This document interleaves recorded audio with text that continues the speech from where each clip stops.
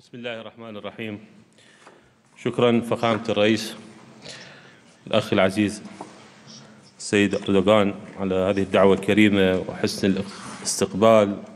سعداء بأن نكون هنا معكم في هذه الزيارة الرسمية إلى الجارة العزيزة تركيا في عاصمتها أنقرة إذ تربطنا علاقات عميقة. هذا العمق التاريخي إضافة إلى التجاور الجغرافي خلق بيننا عوامل مهمة في تأطير أواصر العلاقة وتمتينها بما ينعكس على البلدين الجارين. نجدد تعازينا وتضامننا مع تركيا حكومة وشعبا إزاء كارثة الزلزال. نسأل الله أن يرحم الضحايا برحمتهم الواسعة ويمن على الجرحى بالشفاء العاجل.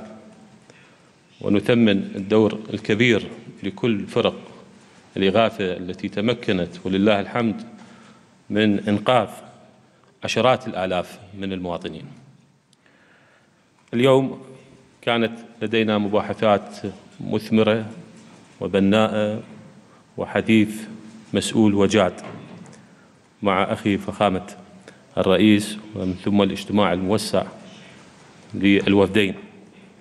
ركزنا في هذه المباحثات على تعزيز العلاقات بين البلدين في المجالات كافة وخاصة المجال الاقتصادي.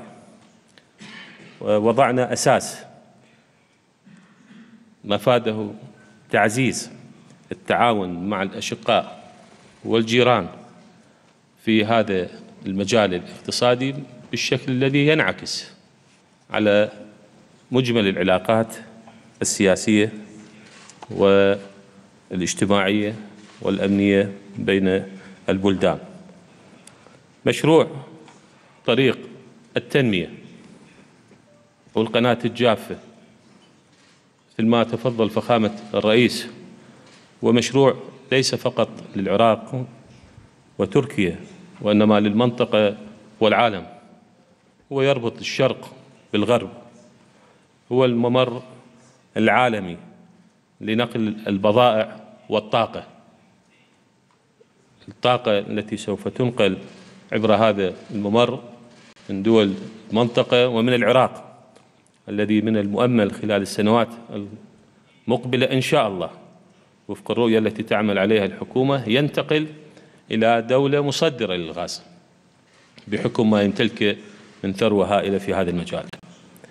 هذا المشروع كان محط بحث مستمر بين العراق وتركيا على مختلف المستويات واليوم وصلنا إلى هذا الإعلان مع فخامة الرئيس. منه نوجه الدعوة للأشقاء لدول المنطقة إلى عقد اجتماع قريب إن شاء الله في بغداد. نناقش بشكل تفصيلي مراحل وتفاصيل تنفيذ هذا المشروع الحيوي. سوف يكون هناك خط للسكة الحديد ينقل البضائع كمرحلة أولى ثلاثة مليون ونصف و